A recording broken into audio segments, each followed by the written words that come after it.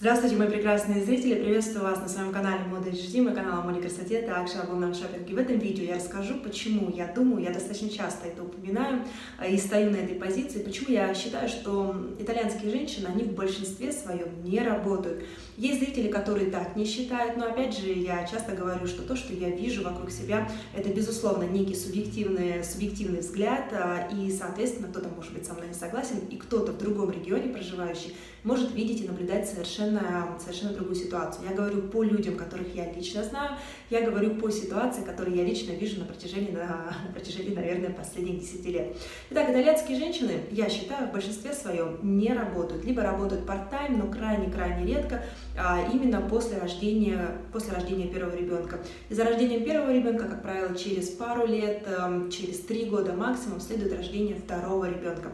А, итак, а, итальянские женщины не, не работают, на мой взгляд, прежде всего в силу определенных традиций, которые поддерживаются, которые сложились на протяжении предыдущих десятилетий в итальянском обществе. Итальянская женщина – это прежде, прежде всего хранительница очага. Это прежде всего мама, это прежде всего жена, которая хорошо умеет готовить, которая умеет хорошо убираться, которая умеет хорошо гладить, которая прекрасно общается со своими детьми. По большому счету, все свое время после рождения детей посвящает именно детям. Могу сказать, что итальянские мамы, на мой взгляд, большие молодцы, они действительно общаются на той волне а, со своими детьми, которую можно пожелать очень многим мамам, не только российским, но и вообще а, во всем мире. Это мамы очень веселые, это мамы очень общительные со своими детьми, это мамы, которые действительно на одной волне со своими детьми. Но у всего этого есть оборотная сторона, есть, а, скажем так, определенная стоимость, которую, возможно, эту цену, эту стоимость итальянские женщины не и не осознают.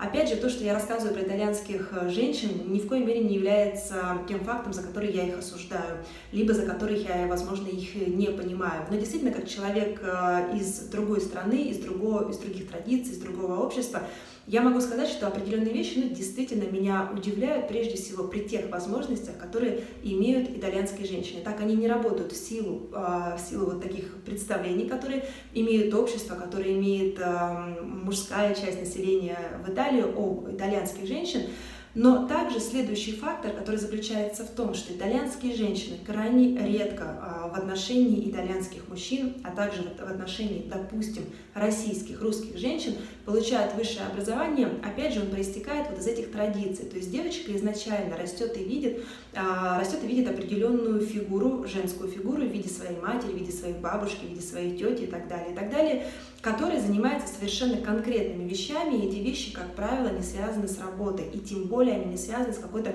профессиональной, серьезной деятельностью. Вообще, что значит получить образование в Италии и вообще в Европе? Это значит а, очень сильно потрудиться для этого образования. Я не удивлена, что ценность нашего образования, российского образования не признается, ну, наверное, ни в одной стране мира. Возможно, в каких-то странах третьего мира, наверное, некорректно, нехорошо так говорить, но тем не менее в цивилизованном мире наше образование оно ни во что не ставится, его нужно подтверждать, но подтверждая свое образование, ты фактически сдаешь новые экзамены, фактически ты изучаешь э, ту материю, по которой ты сдаешь, э, подтверждаешь свой диплом и сдаешь экзамены, фактически ты изучаешь ее заново. Соответственно, меня здесь это не удивляет, потому что здесь получить высшее образование означает действительно учиться, означает действительно выйти высококлассным специалистом из того университета, где это высшее образование а, ты получал. Поэтому, поэтому это прежде всего означает а, колоссальные трудозатраты со стороны мужчины, который получает высшее образование, со стороны женщины, которая получает высшее образование. Повторюсь, а, безусловно, есть женщины в итальянском обществе, которые получают высшее образование. Если мы возьмем а, допустим, врачебную сферу, то там очень много женщин-медиков. Но тем не менее, если мы возьмем все другие сферы, то там превалировать будет опять же а, мужчин. А, я имею в виду, безусловно, те профессии, где требуется высшее образование. Так вот, в силу определенных традиций высшее образование не принято получать итальянскими женщинами.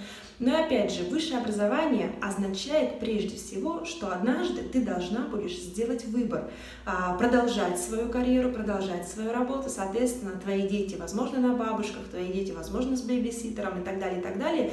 И в этот момент, возможно, ты столкнешься с непониманием, опять же, того социума, а, который, который будет преследовать вот эти традиционные взгляды. Это, возможно, родственники мужа, это, возможно, сам муж, а, и, возможно, это даже твои родители, и, возможно, опять же, это твое ближайшее окружение, друзья, подруги, которые никогда тебя не поддержат и не поймут, что ты работаешь, а ты, повторюсь, работаешь, потому что ты потратила огромные усилия, а, огромное время, ты работала, возможно, официанткой, потому что очень многие люди, которые здесь в Италии а, получают высшее образование, вне зависимости от того, женщина это либо мужчина, они содержат себя а, во время получения этого образования, они содержат себя вот любыми профессиями, что называется, сезонными, какой-то подработкой. Прежде всего, это туристическая страна, поэтому возможностей достаточно много. Это, возможно, а, какая-то официантская работа, это, возможно, какая-то даже курьерская работа, это, возможно, работа по сезону, опять же, в каких-то в каких-то ну, ресторанах прежде всего. Соответственно, соответственно, люди, действительно, которые получают высшее образование, они идут на огромные, вот прямо-таки я не постесняюсь сказать, на огромные жертвы для того, чтобы это образование получить. Поэтому, предвидя а, то, что женщина в итальянском обществе, прежде всего мать и жена, не всякая женщина решится это высшее образование получать. Соответственно, после рождения детей у женщины с высшим образованием, как я много раз говорила, а, у нее нет выбора. Она продолжает работать, она продолжает содержать зачастую бэйбиситера первые три года, а также ясли. Ясли в Италии стоят очень дорого. Ясли в Италии стоят столько, сколько стоит частная хорошая школа в Европе для детей школьного возраста. Так вот, женщина зачастую отдает всю свою зарплату только для того, чтобы не потерять то место, к которому она шла годами. А, поэтому действительно, прежде чем задуматься о какой-то серьезной работе, а серьезная работа серьезный доход – это прежде всего работа, где требуется высшее образование, любая девушка итальянская 18 лет, 19 лет, что называется, хорошо подумает о том, а, какой а, в дальнейшем она видит свою, свою жизнь и свое место в этом обществе. Третья причина, по которой итальянские женщины не работают, является как раз-таки само государство. Уж не знаю по какой причине, но итальянское государство является, вообще Италия является местом, наверное, самым дружелюбным к, к детям в Европе. Как правило, эту классифику, эту классификацию, точнее, а, Италия занимает а, исконно на каких-то первых позициях. То есть Италия это страна, где к детям очень хорошо относятся, где детей очень любят, вне зависимости от того, это итальянский ребенок, либо это ребенок-турист, либо ребенок-иммигрант. А, итальянское общество очень лояльно к детям, очень дружелюбно к детям, но несмотря на это, итальянская республика очень недружелюбно к мамам, потому что начиная все с декрета, все очень сложно, все очень строго. И декрет, например, в Италии, э, в Италии обязательный декрет э, составляет 5 месяцев. 2 месяца до родов, это могут быть 3 месяца по медицинским показаниям и, соответственно, 3 месяца после родов. Но если женщина по медицинским показаниям была вынуждена 2, 3 э, месяца находиться в декрете до родов, соответственно, у нее после родов остаются 2 месяца. В эти 5 месяцев женщине выплачивается, внимание, 80% а, от заработной платы, которую она имела на протяжении, опять же, все, все зависит от э, структуры, где она работала, все зависит от э, договора, но, как правило, это зарплата, которую она имела на протяжении последних э, 6 месяцев. Так вот, э, эти 80% платит государство, 20% на усмотрение а, работодателя. Но, как правило, эти 20% редко-редко а, женщине выплачиваются, соответственно, она получает в течение декрета 80% от своей заработной платы. С этих 80% женщина, конечно же, платит подоходный налог.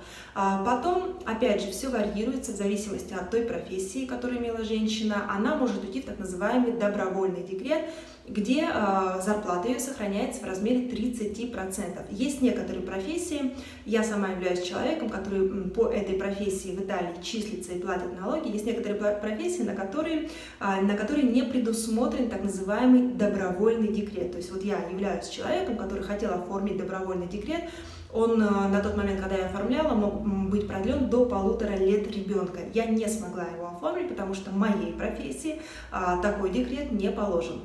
Соответственно, вот итальянское государство только вот в этих моментах, не говоря о том, что а, когда я, например, итальянским своим подругам рассказывала, что у нас есть, а, сейчас даже я не знаю, как по-русски он называется, на второго ребенка оформляется материнский капитал, я рассказывала, они были крайне удивлены, потому что в Италии, если существует так называемый бонус ББ, то есть бонус оформленный на ребенка, то, то, то ты должна быть ну, вот, практически малоимущей, чтобы этот, чтобы этот бонус на своего ребенка оформить. То есть, опять же, женщина с высшим образованием, возможно, возможно, с некоторой недвижимостью, потому что она, опять же, зарабатывает определенные деньги и может себе определенные вещи позволить, она фактически лишена любых этих бонусных выплат, только потому, что она в свое время а, рискнула и решила получить высшее образование, и сейчас является обладателем той профессии, которая определенный доход ей приносит. Но и четвертая причина, она, скажем так, факультативная, но тем не менее она также, она также очень весома, и в свое время это меня очень удивляло. Я когда приехала в Италию, когда узнала, что детский сад работает до 3.30, меня это крайне поразило. Я подумала, боже мой, ну как итальянские женщины работают. А на самом деле они так и работают, они просто не работают. Они крайне редко работают в первую половину дня, потому что в первую половину дня они должны, что называется, готовить, они должны убираться, они должны делать очень много из того, что исконно а, на них возлагает, а, возлагает итальянское общество, что от них, точнее, ожидает итальянское общество. Ну а после обеда, после обеда, как правило, встретив старшего ребенка, кстати, итальянские женщины не выходят на работу, не начинают вести какой-то свой бизнес, не становятся фрилансерами, даже когда их дети вырастают потому что даже когда их дети вырастают и имеют возраст 10-13 лет, итальянская женщина продолжает делать то, что делает, когда ребенку, допустим, 3 года, и он только-только начал ходить в сад. А именно, она развозит его по различным кружкам, она развозит его по различным, ну, кружки секции, на самом деле одинаково все, ну, вот примерно она является, по большому счету, таксистом у своего ребенка. А, и опять же, посещение определенных собраний в Италии это очень-очень важно. Я эти собрания пропускаю в силу того, что, наверное, я иностранка, на меня смотрят ну, странно, но тем не менее мне эти странности прощают. Но опять же, вот эта материнская жизнь, материнские обязанности накладывают на тебя а, огромные, огромный, даже не знаю, огромный пласт а, тех дел, которые ты должна делать, по большому счету, и можешь сделать их только, только после обеда. Недавно я выпустила видео, и мне подумалось, что очень многие мои зрители могли бы написать мне, Яна, о таком дне среднестатистической итальянской мамы, наверное, могли бы, могли бы мечтать многие женщины, которые проживают, прежде всего, на территории России, потому что есть секции, эти секции шаговой доступности, эти секции стоят недорого и так далее, и так далее. И это действительно правда. Это одна из тех вещей, которые, которые, скажем так, движет меня и толкает меня продолжать жить и оставаться в этой стране, несмотря на то, что я определенные вещи вижу, определенные вещи мне не нравятся, и определенные вещи а, я понимаю и не хочу их принимать. Но тем не менее, будущее моих детей, но самое главное, сегодняшний день моих детей, то, как они живут, а, позволяет мне взвесить все за и против и оставаться, проживать до сих пор, до сих пор в этой стране. Так вот могу сказать, что да, итальянские женщины, с одной стороны, являются заложницами того быта, а, того, скажем так, благополучного быта, который они ведут изо дня в день. Но с другой стороны, итальянские женщины, в отличие от женщин-иммигрантов, которые приезжают сюда за лучшим будущим, прежде всего для своих детей, они лишены этой возможности ценить, а, ценить свои, скажем так, будни мамы, мамы, которая может не работать, маму, которую содержит, а, точнее маму и жену, которая содержит муж. Это считается нормальным. Итальянская женщина никогда не считается иждивенкой, никогда не считается на содержании своего мужа, потому что, повторюсь, общество изначально ожидает того, что итальянская женщина, она не будет работать, она будет заниматься семьей, домом, а также детьми.